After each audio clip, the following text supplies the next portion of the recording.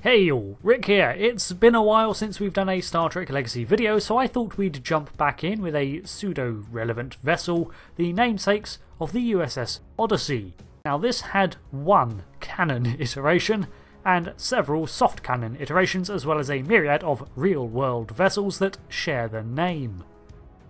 The name's origin is from the Latin word Odyssey, and the name of the protagonist of Homer's works, Odysseus or Ulysses. The story was the tale of the Greek king who took 10 years to return home after the fall of Troy, and along the way encountered all sorts of perils and mythical adventures. The word has since come to mean such as an epic journey, whether that is a physical one or otherwise, and therefore seems the likely title for many a ship. So, let's get started with a look at the earliest Odyssey I could find, which actually only dates back to the Second World War, during which there was an HMS Odyssey that was actually the name of an accounting base in Ilfracombe, then London, where it maintained documentation record keeping, and cipher works. Many of these so called stone frigates operations are apparently still classified to this day, so that kind of puts an end to that. If we look at the name Ulysses, however, we have a bit more luck. I'm including this as a similar namesake as they technically share a naming origin, but I won't treat them as such for the fictional Star Trek vessels.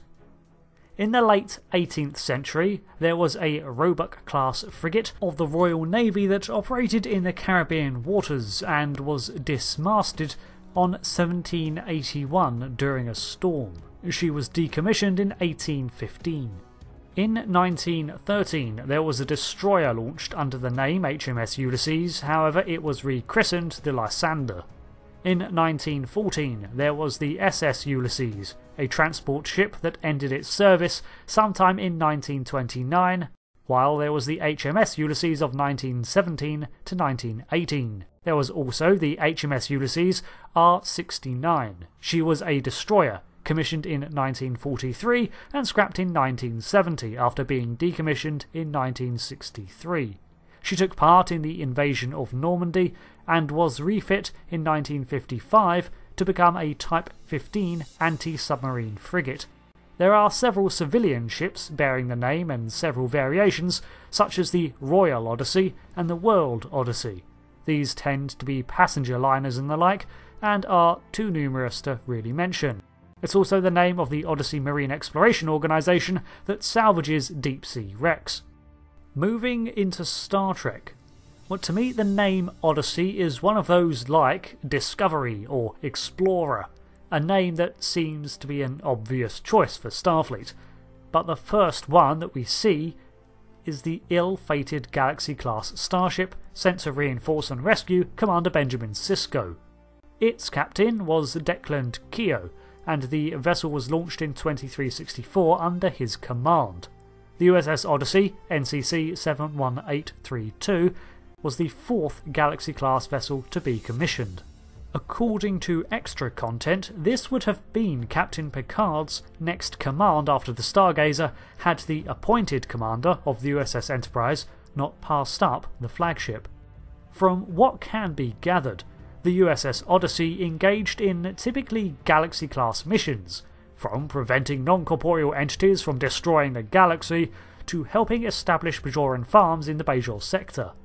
Most of her operations seem to be along the Cardassian border deep in the Alpha Quadrant, a kind of mirror to the USS Yamato and the USS Enterprise, similar vessels which mainly operated close to the Beta Quadrant sides of Federation space. They were on patrol along the Cardassian demilitarized zone when they were tasked with their final operation in 2370. The rescue was successful, but during the retreat, the ship was rammed by a Jem'Hadar fighter, destroying the ship and all aboard. A standard Galaxy class could house over a thousand crew members. This was seen by many as the beginnings of the Dominion War. There are references to a Galaxy Dreadnought style ship called the Odyssey, but I doubt this was an actual ship, as in 2375 a new Intrepid class starship was commissioned with the name USS Odyssey NCC 74650. Records of this vessel's tenure are not clear, but by the end of the 24th century, plans had begun to commission a new class of explorer that would surpass the Sovereign, so I doubt it was still in service at this time. Matters are complicated somewhat by the Star Trek Picard prequel comics, but I'll do my best to fold in all the sources. The Odyssey class was first seen in 2381, and the USS Verity, NCC 97000, seemingly the first of its class. However, the designation of Odyssey class remains constant, and the NCC registry, as opposed to the customary NX, suggests that this may in fact be the prototype, merely renamed when it was fully commissioned. The vessel was an explorer at heart, but its immense size made the USS Verity suitable for use as Admiral Picard's vessel from which he could command the Romulan relocation efforts. This mission was undertaken until its cancellation in late 2385, when Starfleet recalled all assets in preparation to defend itself after an attack on Utopia Planitia. However, in 2409, the Odyssey class was overhauled and had a rear hangar added that would accommodate an Aquarius class escort vessel, as well as saucer separation abilities. This was in response to the Klingon Defense Force's own new Bortasqu' class flagship, and it beefed up the starship's capabilities in combat. The Aquarius class is a small raider style vessel that is sort of a lightweight Defiant style combat ship, and it has been deployed as its own ship and not just an Odyssey attachment. The naming conventions for this may date back to the launch of Apollo 13. The command module's call sign was Odyssey, while the lunar landing module was Aquarius. Another unique feature of this starship is its bridge design, which features a multi leveled design and a lower observation port that doubles as a sort of situation room. The USS Odyssey itself remains in operation in 2410, defending Earth's space dock, while the class of the starship went on to become the basis for the USS Enterprise NCC 1701F.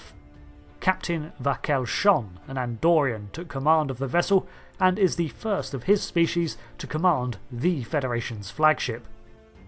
This ship became the new poster vessel for the Federation, and there were many variations and specialities of this design, some with both the Aquarius class hangar and with greater scientific implements, such as the Yorktown variant that the Enterprise was refit to, and the Verity, in real life, the vessel was created in a competition to design a new enterprise, so it seems fitting that in some way Picard managed to command one of this line. I expected there to be more ships named the Odyssey in both real life and Trek, and was surprised by the lack of information I could dig up. Ulysses is a far more common name and dates back to a far older time, but although originating from the same place, it's not quite the same. Ulysses is a name, while an odyssey has become a word for a great journey. There doesn't seem to be a conveyed theme to the vessels of this name, but I do like the NASA references for the Star Trek Online design.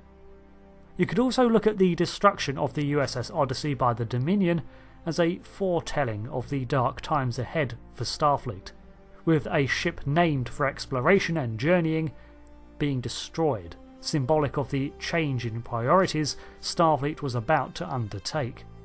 Thanks for listening to this legacy video, documenting as much as I could find on ships named the Odyssey and some Ulysses. There's a lot of memory beta content here, otherwise the video would have ended with only one mention, and that didn't end well. Leave a suggestion for another ship name for me to look at, and let me know if you know of any other Odyssey vessels that I couldn't find. Well, thanks again, I've been Rick and I'll see you next time for another lore, gameplay or discussion video. Goodbye.